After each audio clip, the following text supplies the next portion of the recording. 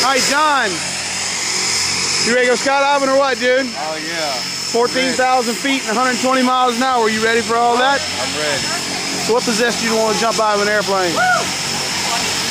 I don't know. I just wanted to do it. All right. Well, I guess that'll work. I see you got a couple guys here with you today. Yeah, uh, my brother Shane and his niece Brooke, and we're gonna take us skydiving, so that's why we're doing. Perfect, perfect. What about the guys at home? You got anything to say to them? Get some balls like me. All right. Sounds like you got it worked out, John. I will see you on the airplane.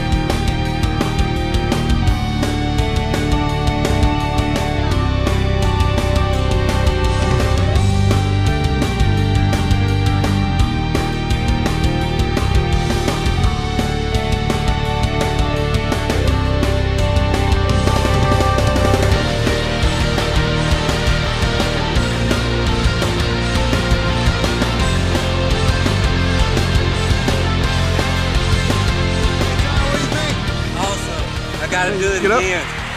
Do it again. Yeah. When you gonna do it again, do it again right now. Yeah. I'm ready. You ready? Let's do it. What about those guys at home? Who's gonna front me the money? What about those guys at home? What you gonna tell them?